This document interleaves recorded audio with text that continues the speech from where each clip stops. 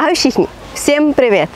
Сегодня продолжается наша тема «Česká hudba». A dneska je to česká hudba číslo 4 a současné zpěvačky. Ty, které jsou populární teď v Čechách. Расскажем некоторые имена и также, ну, тоже скажу пару слов про певицы. И потом должны вы, опять же, прослушать самые вот эти песни, которые я вам буду рекомендовать. Так, začínáme.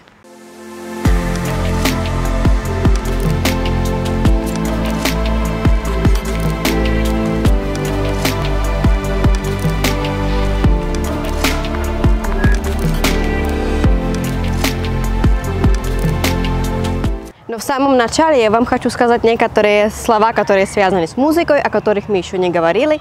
И первый это концерт. Это же не тяжело перевести, надо легко.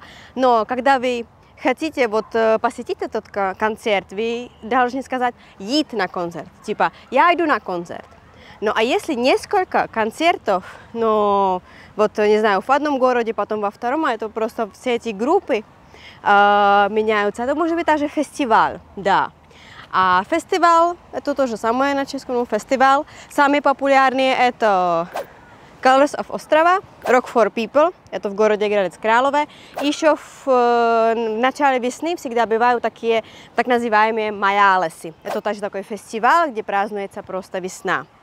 И когда вот эти гастроли, типа, ну что одна группа едет из одного города во второй и вот организует концерты, это называется тур или турне. И музыканты очень часто говорят, что это шнюра. Так, первой певицей, о которой я буду говорить, является Анета Лангерова. Может быть, вы о нее уже слышали.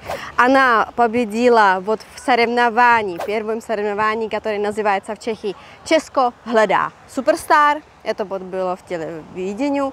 И э, это было первое соревнование в 2004 году. И с того времени она стала очень популярной. Она поет в стиле поп или фолк, и она даже пишет песни. И одни из самых популярных песен и самых известных это «Вода жива» или «Кřídla мотыли». Так, вторая певица это Марта Яндова. Она представляет стиль рок и хард-рок, можно так сказать.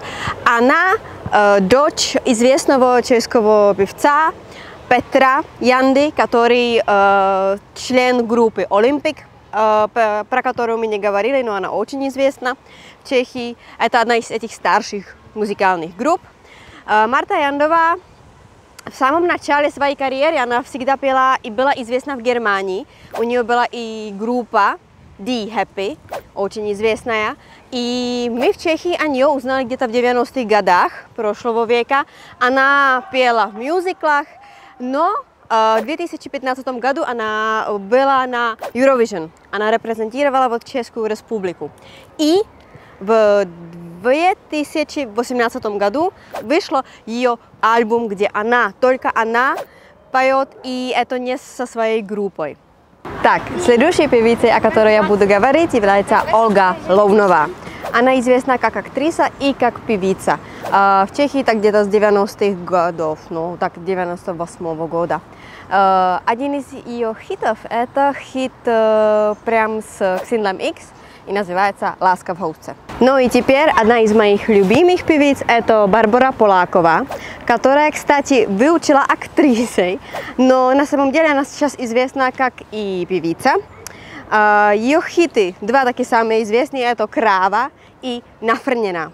Вот «Нафрнена» — это песня, которая победила вот э, премию «Ангел» в 2015 году именно в рамках категории «Песня года». Теперь назову две певицы, которые э, поют на английском в большинстве случаев. Это Ленни а Деби. Ленни — это же псевдоним, э, ее имя Ленка Филипова. Она дочь известной чешской певицы Ленки Филипповой, которая пела в стиле фолк. И она э, просто училась в музыкальной школе в Лондоне, и сейчас она поет просто на английском. Можете прослушать какие-нибудь ее песни, выберите, которая вам понравится. Теперь пару слов про Деби. Э, это же также псевдоним, э, ее имя Дебора Кахл. Ее корни немецкие и чешские. И она появилась, опять же, в Суперстар в этом соревновании в 2009 году. Она же не выиграла, нет, но она была одна из таких как-то самых известных, самых интересных. А в 2010 году у нее появился хит Touch the Sun, который победил премию в рамках соревнования, ну просто «Ангел». Это была, опять же, песня года 2010 года. И э, Деби, к сожалению, также поет только на английском, но я думаю, что песню Sun вы знаете. Последняя певица, о которой я сегодня буду говорить, это Эва Фарна. У нее чешские и польские корни, она даже поет на чешском и на польском языке. Э, например, существует песня «Та о нас», где череду, чередуется чешский и польский. Это интересно, можете прослушать. Э, она была такое открытие года прям, потому что она появилась на сцене, когда ей было 13 лет, поверьте.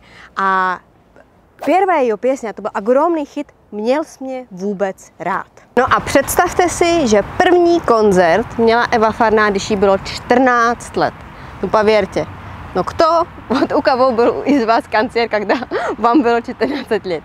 Да, и с того времени она поет, она известна. Она поет в стиле рок, электророк, иногда немножко поп, можно так сказать. И э, одна из ее известных песен это «Mám boky jako skříň». На самом деле мелодия Меган Трейнер – но она вот спела эту песню на чешском. Она стала очень популярной. Ну и так как о выходных вручались премии «Ангел», я еще скажу про Ленку Дусилову, которая победила в категории «Певица года», «Песня года» и «Альбом года». Можете что-нибудь прослушать. На сегодня все. Надеюсь, что вам понравилась тема. А на следующий раз будем разбирать какую-нибудь песню. Я выберу. Ну, Dávejte nám lajky, pište do komentářů, co vás zajímá. Mějte se krásně a ahoj.